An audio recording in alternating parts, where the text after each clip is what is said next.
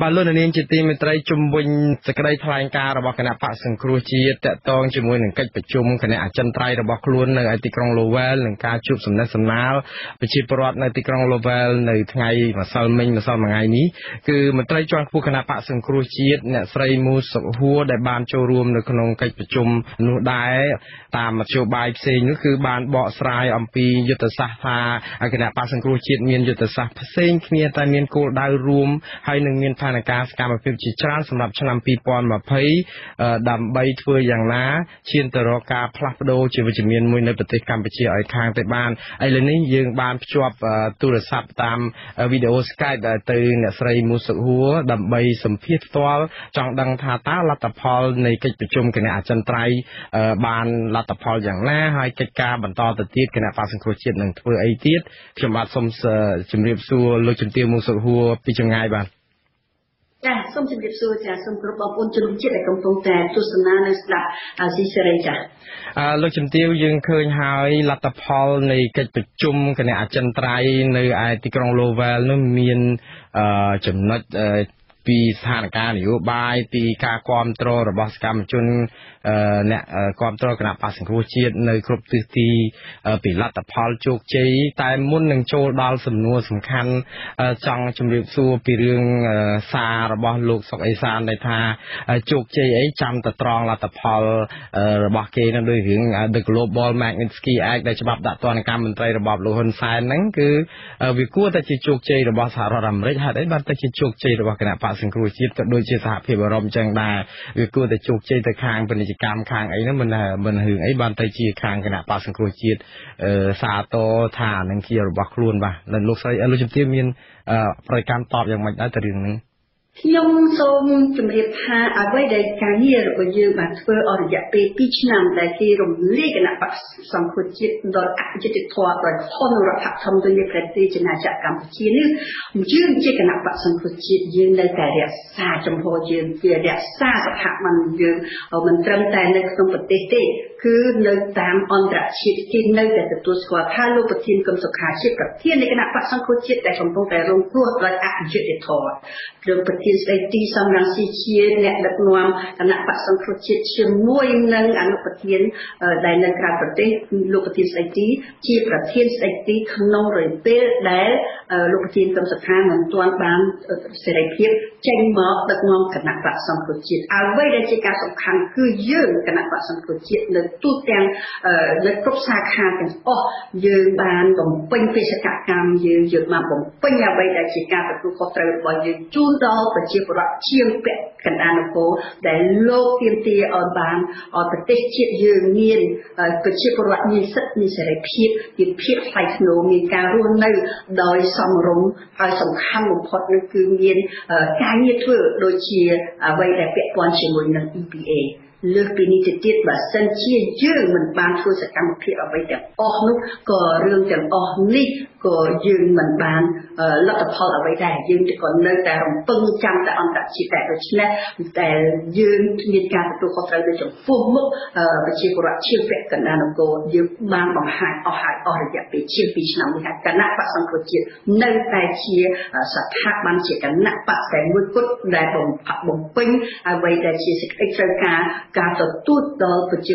នៃប្រជាពលរដ្ឋជាពាក់កណ្ដាលនគរគណៈបក្សសង្គ្រោះជាតិគឺគណៈ បកដែលមានសក្តានុពលខ្ពស់នៅក្នុងការប្រជែងគួតប្រជែងជាមួយនឹងគណៈបកណាក៏ដោយនៅពេលបោះឆ្នោតពេលណាក៏គណៈបកសង្គ្រោះជាតិនៅតែមានសក្តានុពលជាតិនេះ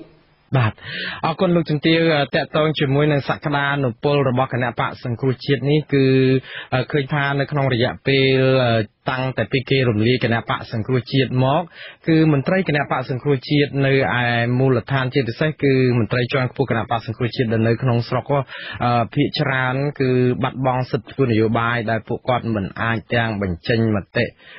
ឬក៏ថ្លែងសារអ្វីបានសោះហើយបានតែមន្ត្រីគណៈបកសង្គ្រោះជាតិដែលនៅក្រៅប្រទេសទេដែលអាចធ្វើសកម្មភាពនយោបាយតស៊ូមតិគ្រប់បែបយ៉ាងនេះបើទោះបីជាលោកសុកអេសានលោកមានប្រសាសន៍ថាលទ្ធផលនៃការដាក់ទណ្ឌកម្មនោះមិនមែនជាលទ្ធផលនៃកិច្ចការការទូតឬក៏បាតកម្មឬអីនោះក៏ដោយចុះលោកជំទាវមានប្រសាសន៍ហើយថានេះក៏ជាការតស៊ូរបស់គណៈបកសង្គ្រោះជាតិចុះមករយៈពេលចុងក្រោយនេះហេតុអ្វីក៏សកម្មភាពនេះហាក់បីដូចជាស្ងប់ស្ងាត់ទៅវិញឬក៏ជាយុទ្ធសាស្ត្ររបស់គណៈបកប្រឆាំងដែលពេលដែលសហភាពអឺរ៉ុបកំពុងតែដាក់សម្ពាធទៅហើយក៏សម្របទៅតាមនឹងមួយរយៈសិនឬក៏យ៉ាងម៉េចដែរលោកជំទាវ ចាម្សិលមិញនៅក្នុងកិច្ចជំនួបនៃការប្រជុំគណៈកម្មការអចិន្ត្រៃយ៍នៃគណៈបក្សសង្គ្រោះជាតិនេះគឺយើងក៏បាននិយាយវាតម្លៃទៅលើស្ថានភាពនយោបាយបច្ចុប្បន្នយុទ្ធសាស្ត្រទាំងឡាយផែនការទាំងឡាយនៃគណៈបកណាក៏ដោយនៃក្រុមណាក៏ដោយនៃក្រុមហ៊ុនក៏ដូចតែគ្នាដែរគឺយើងមើលអ្វីដែលជាបច្ចុប្បន្នភាពនៅពេលនេះយើងទុកពេលវេលាជូនទៅដល់សហគមន៍អន្តរជាតិដែលមានសហភាពអឺរ៉ុបក្តីសហរដ្ឋអាមេរិកក្តីអឺប្រទេសជាដៃគូដែលជាហត្ថលេខីនៃកិច្ចព្រមព្រៀងទីក្រុងប៉ារីសក្តីនៅពេលនេះអឺគឺចម្លើយដែលត្រូវតែឆ្លើយជូនទៅដល់សហគមន៍អន្តរជាតិសហភាពអឺរ៉ុបនោះគឺការទាការងារជូនដល់ប្រជាពលរដ្ឋជាងចិត្តមួយលានអ្នកហើយនឹងកសិករយើងនឹង និងគ្រួសាររបស់កម្មករកម្មការិនីយើងវាពាក់ព័ន្ធដល់ជា3លានអ្នកនេះគឺរឿងនេះគឺនៅលើបបាល់នេះនៅលើលោកហ៊ុនសែនកូនកលឹះនេះនៅលើហ៊ុនសែនដូច្នេះទុកជូនរយៈពេលជូនទៅលោកហ៊ុនសែនឆ្លើយទៅគាត់បានឆ្លើយគាត់ថាបានរយរាជរដ្ឋាភិបាល រដ្ឋាភិបាលលោកហ៊ុនសែនបានផ្ដល់របាយការណ៍ជូនទៅសហភាពអឺរ៉ុបហើយចាំមើលនៅថ្ងៃចម្លើយនៃសហភាពអឺរ៉ុបអញ្ចឹងនៅពេលនេះយើងត្រូវតែរក្សានូវភាពស្ងាត់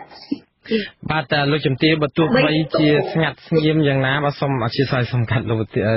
សាលោកជំទាវតិចលោកជំទាវថាមានការស្ងាត់ស្ងៀមយ៉ាងណាក្តីហ្នឹងក៏ឥឡូវនេះចាប់ផ្ដើម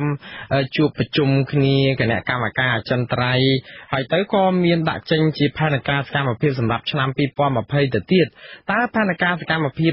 2020នោះគឺចាប់ពីមករាទៅខែមករាទៅនោះលោកជំទាវ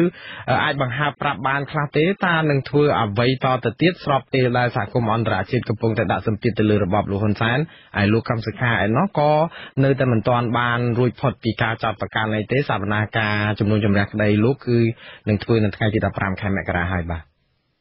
ការស្កាត់ឈាមនឹងមិនន័យថាយើងអត់នឹងធ្វើអ្វីទាំងអស់ទេការស្កាត់ឈាមនឹងយើងទុកជូនទៅដល់លោកហ៊ុនសែនឆ្លើយតបជាមួយនឹងសហភាពអឺរ៉ុបទៅចុះពីព្រោះយើងមានការខ្វល់បារម្ភខ្លាំងណាស់ចំពោះជោគវាសនានៃប្រជាពលរដ្ឋយើងជាង3លាននាក់ដែលពាក់ព័ន្ធជាមួយនឹង EPA តែជាមួយគ្នានេះដែរយើងមិនស្ងាត់ស្ងៀមទេនៅក្នុងករណីលោកប្រធានកឹមសុខាការកាត់ទោសនៅថ្ងៃទី15នៃលោកប្រធានកឹមសុខាយើងឃើញថាយើងមើលសេណារីយ៉ូទាំងអស់សេណារីយ៉ូណាក៏ដោយយើងមិនអាចទទួលបានយកបានលុះត្រាតែជាសេណារីយ៉ូដែលផ្ដល់យុត្តិធម៌ពិតប្រាកដជូនទៅដល់លោកប្រធានកឹមសុខាមានន័យថាលោកប្រធានកឹមសុខាអត់មានពាក់ព័ន្ធជាមួយនឹងកំហុសនឹងទោសណាទាំងអស់ត្រូវតែទម្លាក់ទោសចូលជូនលោកប្រធានកឹមសុខាដូចជាអ្នកពាក់ព័ន្ធនយោបាយដែលគេចាប់ប្រកាន់ដែរជាមួយគ្នានេះដែរក៏សកម្មភាពសម្រាប់បន្តទៅមុខនេះគឺយើងជាគណៈបកយើងជាស្ថាប័នមួយដែលប្រជាពលរដ្ឋបានជាពាក់កណ្ដាលនគរបានយកទៅ អត់ផ្ដល់សន្តិសុខចិត្តអស់ហើយយើងមិនអាចនឹងអង្គុយស្ងៀមទេផែនការសម្រាប់2020នេះដូចខ្ញុំបានលើកមកគឺពាក់ព័ន្ធទៅលើអ្វីដែលជាឆន្ទៈប្រជាពលរដ្ឋខ្មែរឆន្ទៈប្រជាពលរដ្ឋខ្មែរគឺចង់រស់នៅក្នុងភាពថ្លៃថ្នូរមានសិទ្ធិសេរីភាពមានលទ្ធិប្រជាធិបតេយ្យហើយសំខាន់បំផុតដោយសារស្ថានភាពនយោបាយសប្តាហ៍នេះគឺយ៉ាងមានការគួរបារម្ភបំផុតនោះគឺវត្តមាននៃប្រទេសចិនគឺអ្វីដែលពាក់ព័ន្ធជាមួយនឹង ឯករាជ្យភាពនិងបូរណភាពទឹកបាទលោកជំទាវតកតងជាមួយនឹងឆន្ទៈរបស់ប្រជាពលរដ្ឋខ្មែរនេះខ្ញុំចង់រំលឹកសាររបស់លោកកឹមសុខាដែលលោកបានថ្លែងជាពិសេសនៅក្នុងស្ថានភាពដែលកម្លាំងសាមគ្គីរបស់អ្នកដែលនិយមប្រជាធិបតេយ្យត្រូវតែរួមដៃគ្នាដើម្បីផ្លាស់ប្ដូរឲ្យវិជ្ជមានយ៉ាងណានោះសារនេះគឺនៅតែមានភាពពាក់ព័ន្ធហើយខ្ញុំចង់ឲ្យលោកជំទាវក៏បានជ្រាបហើយអ្នកដែលស្ដាប់អាស៊ីសេរីប្រិយមិត្តទាំងអស់ក៏បានជ្រាបទាំងអស់គ្នាដែរសូមស្ដាប់ប្រសាសន៍លោកកម្មសុខាកាលពីមុនដែលគាត់ជាប់ឃុំបាទគ្មានការរួមរួមទេណាកុំសង្ឃឹមថាយើងទទួលបានជោគជ័យមួយជំនាញធំហ្នឹងមែនមែនបងប្អូនហើយមិនបើខ្ញុំចង់រំលឹករឿងនេះដើម្បីឲ្យយើងទាំងគ្នាចងចាំថា ការរួបរวมនេះជាកត្តាចម្បងដើម្បីនាំមកនូវជោគជ័យមួយជំនាញធំនេះជាងកុំភ្លេចកុំភ្លេចកំណើតរបស់ខ្លួន តើខ្លួនកើតមកពីណាគណៈបកសង្គ្រោះជាតិកើតមកពីការរួបរวมគ្នាហើយអ្នកណាប្រាប់ឲ្យរួបរวมហ្នឹងប្រជាប្រដ្ឋខ្មែរជាអ្នកបង្កប់ឲ្យគណៈបកទាំងពីរហ្នឹងរួបរวมគ្នាបង្កើតបកសង្គ្រោះជាតិនេះឯងអញ្ចឹងគណៈបកសង្គ្រោះជាតិសូមឲ្យចងចាំថាយើងកើតពីប្រជាប្រដ្ឋខ្មែរណាបងប្អូនណាទី1សូមចងចាំហើយប្រជាប្រដ្ឋខ្មែរប្រាប់ឲ្យយើងរួបរวมគ្នា ហើយយើងធ្វើតាមប្រជាប្រដ្ឋមែនអឺ លោកជំទាវមួយសុខហួរប្រសាសន៍របស់លោកកឹមសុខាតកតងជាមួយនឹងការរួបរวมគ្នានេះវាស្របទៅនឹងសាររបស់លោកប្រធានស្ដីទីគណៈបក្សសង្គ្រោះជាតិសំរងស៊ីដែលលោកបានអះអាងថាលោកកឹមសុខា និងលោកសំរងស៊ីនេះគឺមានរហូតដល់ទៅជា slogan ជាពាក្យស្លោកថាជាមនុស្សតែមួយក៏ប៉ុន្តែសកម្មភាពកន្លងមកមួយរយៈពេលចុងក្រោយនេះគឺស្របពេលដែលគណៈបកប្រឆាំងរងការធ្វើទុកបុកម្នេញពីដៃគូរបស់ខ្លួនយ៉ាងស្វិតស្វាញទៅហើយនោះនៅក្នុងផ្ទៃក្នុងរបស់គណៈបកសង្គ្រោះជាតិដូចយើងឃើញតាមបណ្ដាញសង្គម Facebook ហើយគឺមានការខ្វែងយោបល់គ្នាមានការជជែកជ្រុងខុសគ្នាតាក់ទងជាមួយនឹងយុទ្ធសាស្ត្រផ្សេងផ្សេងតើ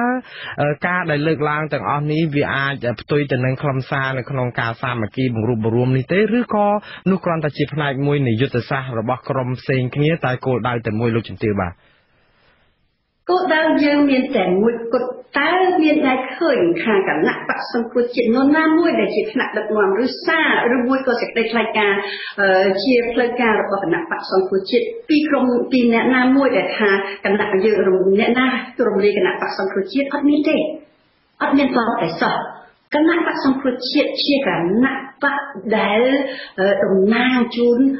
ជាបរិបទកណ្ដាលនគរមានអ្នកណាហ៊ាននិយាយផ្ទុយពីនឹងទេអត់មានទេ ក៏ប៉ុន្តែនៅក្នុងការរកដំណោះស្រាយជាការធម្មតាទេយើងជាអ្នកប្រជាធិបតេយ្យយើងរកដំណោះស្រាយខុសខុសអាចផ្លែកពីគ្នាមិនខុសគ្នាទេប៉ុន្តែគោលដៅយើងតែមួយគឺរក្សានៅអ្វីដែលជាប្រសាសន៍ដ៏ខ្ពង់ខ្ពស់នៃលោកប្រធានគុំសុខា មិនអាចបីនេះបានជាអាចខាតហើយជាមួយគ្នានេះដែរតើអ្នកណាដែល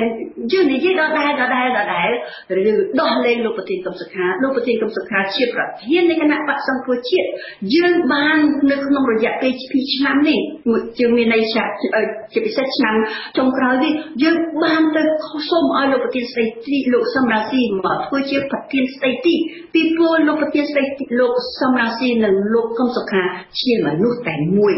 បើខ្វះណាអ្នកណាមួយត្រូវអ្នកនោះមួយម្នាក់មកទៀតមកបំពេញដូច្នេះបើយើងមិនបានបំពេញនៅអ្វីដែលជាប្រសាសន៍ដ៏ខ្ពស់ពោះនៃលោកប្រធានកឹមសុខាអររយៈពេល2ឆ្នាំនឹងយើងនឹងខ្លួនឯងទេដែលនឹងបានមិនបានបំពេញទូនីតិជូនទៅដល់ប្រជាពលរដ្ឋយើងផ្ទុយទៅវិញដោយសារយើង ពេញនឹងហើយបានជាគណៈបក្សសង្គមជាតិនៅតែមានសម្លេងមានសក្តានុពលមានវត្តមាននៅគ្រប់ទីកន្លែងកន្លែងទោះបីនៅក្នុងប្រទេសកម្ពុជាក៏ដោយបើសិនជាអត់មានហេតុអ្វីបានគេចាក់ចងសមាជិករបស់យើងហេតុអ្វីបានគេខ្វល់ហេតុអ្វីបានជាទុកមិនឲ្យលោកឧទ្ទិសស្ដីទីសមសម្រាប់ស៊ីនឹងយើងខ្ញុំធ្វើមានប្រពន្ធនិវត្តន៍ បាទលោកជំទាវការលើកឡើងរបស់លោកជំទាវនេះគឺយើងឃើញជាក់ស្ដែងនៅក្នុងប្រទេសកម្ពុជាដែលមានសកម្មជនគណៈបកសង្គ្រោះជាតិជាពិសេសមន្ត្រីក្រមរក្សាឃុំសង្កាត់ដែលជាប់ឆ្នោតគណៈគណៈបកសង្គ្រោះជាតិជាច្រើនណាស់ដែលសុកចិត្តនៃប្រទេសខ្លួនចាក់ចេញពីភូមិកំណើតទៅជ្រកកោននៅឯប្រទេសជិតខាងដែលមានទីទួលមានសមត្ថភាពដោយមិនព្រមចោះចូលឬក៏មិនព្រមធ្វើសកម្មភាពនយោបាយណាដែលប្រឆាំងនឹងគោលការណ៍រួមនេះតែទោះជាយ៉ាងនេះក្តីគឺនៅឯឆាកអន្តរជាតិនៅតែខាងក្រៅប្រទេសឯនេះនោះក៏នៅតែមានភាពរំជើបរំជួលភាពដែលខ្វែងយោបល់គ្នាមិនសូវចុះសម្រុងគ្នានៅក្នុងសារដែលជជែកគ្នាតាមបណ្ដាញសង្គម Facebook បើទោះយើងមិនសូវឮពីខាងថ្នាក់ដឹកនាំជាន់ខ្ពស់គណៈបកសង្គ្រោះជាតិដូចជាយើងមិនមិនសូវឮពីខាងលោកកឹមសុខាឬក៏លោកសំរងស៊ីអំពីថាការដែលត្រូវមិនចុះសម្រុងគ្នានឹងក៏ដោយគឺមិនដែលឮប៉ុន្តែនៅខាងក្រោមនេះនេះហាក់បីដូចជានៅតែមានការសាច់ទឹកដាក់គ្នាអញ្ចឹងដែរលោកជំទាវតើយុទ្ធសាស្ត្រអីគេខ្លះដែលលោកជំទាវគិតថានឹងត្រូវធ្វើផ្នែកនៃផ្អែកនៃសកម្មផែនការសកម្មភាពឆ្នាំ2010 2020ដែលមានចាប់ពីខែមករាទៅអាចបញ្ចូលនៅក្នុងការបង្រួបបង្រួមកម្លាំងអ្នកប្រជាធិបតេយ្យនឹងដែរទេឬក៏យ៉ាងម៉េចដែរបាទការបង្រួបបង្រួមកម្លាំងអ្នកប្រជាធិបតេយ្យយើងជៀសមិនបានជាដាច់ខាត ហើយបើយើងជាអ្នកប្រជាធិបតេយ្យយើងមានការទទួលខុសត្រូវនៅចំពោះមុខប្រទេសជាតិយើងយើងជាពិសេសប្រជាពលរដ្ឋយើងដែលកំពុងតែរងគ្រោះវេទនានៅក្នុងប្រទេសយើងត្រូវតែមានការទទួលខុសត្រូវនៅភាសាមួយម៉ាត់ណាក៏ដោយទោះបីយើងនៅថ្នាក់ណាក៏ដោយយើងត្រូវគិតថាភាសានោះពាក្យនោះសម្ដីនោះ អើចំណេញដល់ប្រជាធិបតេយ្យទេបើសិនជាអត់ទេយើងត្រូវតែកែលម្អខ្លួននួនណាក៏ដោយក៏ប៉ុន្តែខ្ញុំសូមបញ្ជាក់ជាថ្មីម្ដងទៀតមើលគណៈបកសង្គ្រោះជាតិជាមិនដែលមានអ្វីសេចក្តីឯកាណាមួយពីថ្នាក់ដឹកនាំនាំណាមួយហើយយើងពេលណាយើងនិយាយអំពីគោលនយោបាយគោលការណ៍យើងនិយាយអំពីធៀបស្របច្បាប់ចេញជាស្របច្បាប់ជាផ្លូវការបើសិនជាមានការជជែកគ្នាពីណាពីណាអានឹងឲ្យអ្នកនោះគេទទួលខុសត្រូវតែចំពោះយើងវិញយើងទិសដៅយើងទៅមុខជានិច្ចរហូតទៅដល់យើងដាក់ផែនការយើងនឹងជួបជុំគ្នានៅខែមករាដើម្បីដាក់ផែនការទិសដៅយើងឆ្ពោះទៅ2020ជាឆ្នាំ ដ៏សំខាន់ណាស់ដូច្នេះអារម្មណ៍យើងយើងមិនយកអារម្មណ៍ជាដាច់ខាតយកទៅពាក់ព័ន្ធជាមួយនឹងអ្វីក្រៅតែពីគោលដៅទិសដៅយើងដើម្បីប្រទេសជាតិយើងតែជាមួយគ្នានេះដែរក៏យើងត្រូវទទួលស្គាល់ថាយើងមានការទទួលខុសត្រូវយើងខ្ញុំយើងខ្ញុំជាពិសេសខ្ញុំខ្ញុំបានស្ដាប់ហើយប្រសាសន៍លោកកឹមសុខខ្ញុំប្រសាសន៍បងប្អូនទាំងអស់ការបារម្ភរបស់បងប្អូនទាំងអស់មកសិលមិញនៅគណៈអចិន្ត្រៃយ៍ក៏យើងបានយករឿងនឹងយកមកជជែកគ្នាដែរហើយយើងនឹងយើងនឹងដោះស្រាយយើងនឹងធ្វើការបង្រួបបង្រួម ជាតិគ្នានេះដើម្បីផលប្រយោជន៍ជាតិហើយខ្ញុំដឹងច្បាស់ណាស់ស្មារតីអ្នកទាំងអស់គ្នាជាស្មារតីសង្គ្រោះជាតិឯកភាពគ្នានៅចុងក្រោយគឺគឺច្បាស់គោសរុបគោរពនៅសម្ពាធសម្ដីភាសាដ៏ពងពោះនៃលោកប្រធានគុំសុខាក៏ដូចជាកសកម្មភាពទាំងឡាយនៃលោកប្រធានស្ដីទីសំណាក់ស៊ីដែលបង្ហាញឃើញថាសំណាក់ស៊ីគុំសុខាជាមនុស្សតែមួយលោកជំទាវតកតងជាមួយនឹងក្តីកង្វល់ដែលលោកជំទាវលើកឡើងនេះអ្នកវិភាគសង្គមអ្នកដែលទូទៅអឺនោះក៏លើកឡើងស្តៀងគ្នាច្រើនដែរក៏ប៉ុន្តែថ្មីថ្មីនេះដោយលោកជំទាវបានជ្រាបហើយគឺមានមន្ត្រីគណៈបក្សគ្រូជាតិមួយចំនួននោះដែលបានសំសិទ្ធនយោបាយអឺមានសិទ្ធិធ្វើនយោបាយវិញនោះក៏អឺបានចេញសេចក្តីថ្លែងការណ៍ក្រុមរបស់ខ្លួនមួយក្រុមហ្នឹងចង់បង្កើតទៅជាបកថ្មីហើយក៏មានសារនយោបាយវាយប្រហារមកលើការដឹកនាំរបស់គណៈបក្សសង្គ្រោះជាតិនឹងដែលថាដឹកនាំធ្វើឲ្យមានភាពប្រេះឆា ទើបពួកគេបង្កើតគណៈបកលោកជំទាវតបយ៉ាងម៉េចទៅនឹងការដែលមានក្រុមបង្កើតដែលជាមនុស្សរបស់គណៈបកសង្គ្រោះជាតិពីមុនមកដែរនោះបាទអ្វីដែលខ្ញុំយើងត្រូវតែសួរមកវិញថាតើបានស្ដាប់ប្រសាសន៍លោកប្រធានកឹមសុខាទេបានស្ដាប់ទៅឆន្ទៈបានដើរតាមឆន្ទៈនៃប្រជាពលរដ្ឋខ្មែរជាពាក់កណ្ដាលនគរទេ ហេតុបានយើងនឹងមានជ័យជំនះយើងបានជ័យជំនះទៅហើយ2013និង2017ហេតុអ្វីក៏មិនស្ដាប់ប្រជាពលរដ្ឋយើងដែលក្នុងការខ្ញុំអត់ទៅឆ្លើយជាមួយនរណាទេ ជាសិទ្ធិរបស់គេតែចំពោះយើងខ្ញុំនៅក្នុងគណៈបកសង្គ្រោះជាតិជាអ្នកទទួលខុសត្រូវនិងបន្តនៅការទទួលខុសត្រូវនេះយើងត្រូវឆ្លើយតបទៅចំពោះមុខប្រជាពលរដ្ឋយើងជាពាក់កណ្ដាលនគរណាយើងត្រូវតែស្ដាប់ប្រសាសន៍លោកប្រធានគឹមសុខានិងសកម្មភាពលោកប្រធានស្ដីទីសំណាងស៊ីយើងត្រូវតែគ្រប់គ្រងដើម្បីឲ្យយើងដោះស្រាយបញ្ហាប្រទេសជាតិយើងបានមានតែឯកភាពគ្នារវាងអ្នកប្រជាធិបតេយ្យទាំងអស់បើសិនជានៅមានការទុននៅនៅមានកង្វះខាតនៅត្រង់ណាយើងត្រូវតែបំពេញនៅកង្វះខាតនោះដោយយើងនិយាយគ្នាជាកាមតាស្ថាបនាគ្នាទៅវិញទៅមកក្នុងនាម អ្នកប្រជាធិបតេយ្យដូច្នេះបើសិនជាចេញទៅបង្កើតអ្វីនេះជារឿងរបស់គេតែតែរឿងរបស់យើងនៅចំពោះមុខជាតិយើងយើងត្រូវរក្សាគណៈបកសម្ពុជាតិដែលជាសក្តានុពលដ៏ធំនៅក្នុងការប្រឈមជាមួយនឹងការជាដណ្ដើមយកអំណាចដើម្បីដោះដើម្បីគ្រប់គ្រងប្រទេសដោះស្រាយបញ្ហាជាតិទាំងមូលបញ្ហាគឺបរណភាពទឹកដីនិងឯករាជ្យភាពនៃប្រជាជាតិនៃប្រទេសកម្ពុជាយើង បាទអរគុណលោកជំទាវសំណួរចុងក្រោយដោយសារលោកជំទាវមានប្រសាសន៍អំពីការដណ្ដើមអំណាចឲ្យបាននេះគឺការដណ្ដើមអំណាចតាមបែបអហិង្សានិងប្រជាធិបតេយ្យគឺទាល់តែមន្ត្រីគណៈបក្សប្រជាជាតិទាំងអស់នោះមានវត្តមាននៅលើទឹកដីនៃមាតុភូមិប្រទេសកម្ពុជាអាចចូលរួមក្នុងការអាជីវភាពនយោបាយពេញលេញលោកជំទាវមកដល់ពេលនេះតើការតាំងចិត្តវិលត្រឡប់ទៅប្រទេសកម្ពុជាវិញរបស់មន្ត្រីជាន់ខ្ពស់គណៈបក្សប្រជាជាតិរួមទាំងលោកជំទាវផង ប្រែប្រួលឬក៏មានវត្តទៅដល់ណាទៀតទៅហើយបាទមកពេលនេះខ្ញុំសូមបញ្ជាក់ថា9វិជ្ជការគឺជាជំហានឆ្ពោះទៅមុខជំហានដើរទៅមុខជានិច្ចអត់ថយក្រោយ ទេយើងច្បាស់ណាស់មិនត្រឹមថាយើងនិយាយដដែលហើយដដែលទៀតគឺវត្តមាននៃពលពលរដ្ឋខ្មែរណាក៏ដោយក៏ត្រូវមានវត្តមាននៅប្រទេសដែលជាមាតុភូមិរបស់ខ្លួនលើកពីនេះទៅទៀតយើងមិនត្រឹមតែជាប្រជាពលរដ្ឋខ្មែរសាមញ្ញទេយើងជាគណៈដឹកនាំយើងជាសមាជិកយើងជាមន្ត្រីយើងជាអ្នកតំណាងដែលប្រជាពលរដ្ឋបានបោះឆ្នោតឲ្យយើងទៅហើយយើងជាសង្គ្រោះជាតិដូច្នេះដើម្បីដោះស្រាយបញ្ហាប្រទេសជាតិបានលុះត្រាតែដោះលែងលោកប្រធានកម្មសខាឲ្យធ្វើជានៅតែជាធ្វើជាប្រធានបន្តបេសកកម្មទួនាទីរបស់លោកក្នុងនាមលោកជាប្រធាននៃគណៈបក្សសង្គ្រោះជាតិហើយយើងទាំងអស់គ្នានឹងលោកទាំងលោកប្រធានស្រីទីសំណាក់ស៊ីយើងមានវត្តមានយើងមានឆន្ទៈយើងយើងមាន គោលដៅយើងនៅក្នុងការវិលត្រឡប់ទៅប្រទេសជាតិយើងវិញជាខ្មែររួមកម្លាំងរួមគំនិតគ្នាការពារឯករាជ្យភាពនៃប្រទេសជាតិយើងនៅពលរដ្ឋភាពទឹកដីនិងភាពថ្លៃថ្នូរសិទ្ធិសេរីភាពនិងសិទ្ធិមនុស្សនៃប្រជាពលរដ្ឋយើង បាទលោកជំទាវខ្ញុំបាទសូមអរគុណលោកជំទាវដ៏ជ្រាលជ្រៅដែលបានផ្ដល់ឱកាសខ្ញុំបានសម្ភាសជុំវិញនឹងសកម្មភាពនិងយុទ្ធសាស្ត្រនិងផែនការបន្តទៅទៀតរបស់គណៈបក្សសង្គ្រោះជាតិសម្រាប់ឆ្នាំ2019ខ្ញុំបាទសូមអរគុណម្ដងទៀតហើយសូមជម្រាបលាយុទ្ធសាស្ត្រឆ្នាំ2020អរគុណទៅ2020បាទសូមជម្រាបលាសិនបាទអរគុណចា៎សូមជម្រាបលាសូមអរ បាទបាទលោកនាងទៅបានស្ដាប់បទសម្ភាសន៍របស់ខ្ញុំបាទជាមួយនឹងអនុប្រធានគណៈបកសង្គ្រោះជាតិអ្នកស្រីមូសុខហួរជំវិញយុទ្ធសាស្ត្រឆ្នាំ2020បាទ